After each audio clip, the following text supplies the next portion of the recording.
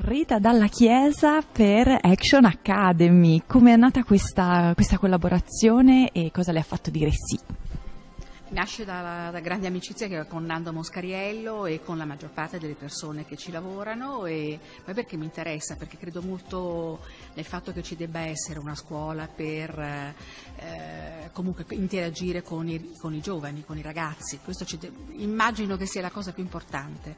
Devono imparare un, a fare un lavoro che tutti pensano dopo aver fatto un reality o aver fatto o passare per la strada di dire ah io voglio fare l'attore, io, eh, l'attore costa, è pesante, io non sono attrice e stavo proprio dicendo adesso a Eva Grimaldi che io non l'avrei mai potuta fare l'attrice, perché l'attrice comporta dei, dei sacrifici anche psicologici, ti devi comunque mettere nei panni di altre persone. Io sono io e, e posso fare solo la conduttrice televisiva o la giornalista, non posso fare altro. Tra l'altro Action Academy infatti non si concentra soltanto sulla recitazione ma cercherà di far scoprire tutto il mondo che ruota intorno alla produzione di un film, di una fiction, giusto?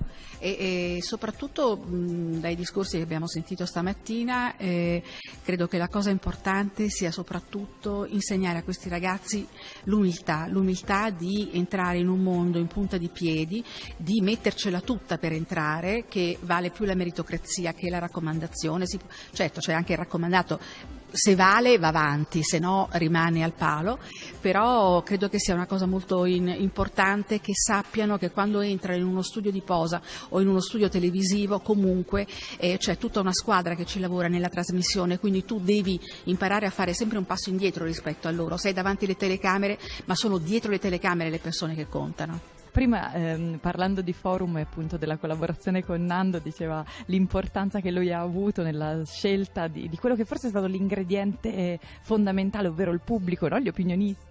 Gli opinionisti, quando Nando è arrivato eh, con i suoi opinionisti, Forum ha cominciato a fare il 34% di share che fa ridere rispetto al 12% di oggi. Ma essendo, essendo, web, le va di dire soltanto una battuta sui fraintendimenti che nascono sempre quando uno commenta, visto che recentemente hanno proprio frainteso? Come si fa a reagire quando insomma, il web oggi appunto uno scrive una cosa e subito magari viene attaccato? Devo dire che ci sono abituata, nel senso che io qualunque cosa dica, non so perché, per quale motivo, eh, crea sempre qualche problema. Probabilmente la gente non, non sa leggere e, e soprattutto in quest'ultimo caso parlando di, eh, eh, di storia e quindi di Gre- Grecia e, e, Germania, io avevo detto sto con la Grecia eh, e che in qualche modo tra virgolette, quindi bisogna imparare a leggere anche le virgole le virgolette, ha aiutato gli italiani a Cefalonia. Cefalonia è piena di episodi di grande amicizia fra greci e italiani che invece erano contro, perché nella storia dovevano essere contro.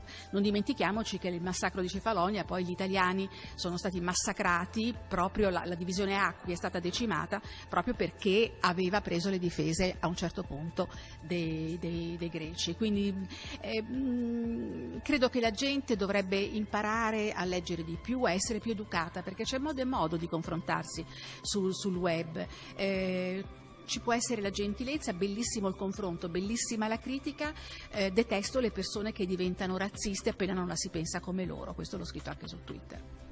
Giustissimo, e poi comunque se no il web può essere anche un momento per far vedere quanto è importante un'amicizia come la foto che è stata pubblicata con Mara Venier, molto molto bella. Vabbè, ma Mara e io siamo amiche da una vita, ci siamo spalleggiate, supportate a vicenda eh, per tanti anni della nostra vita, insomma. Quindi Mara sta attraversando un momento difficile perché le è mancata la mamma da poco e, e io sto con lei. Ma io un consiglio, ormai sono abituata abituata a dare i consigli d'amore, no? Perché non so dare a me stessa e cerco di dare agli altri.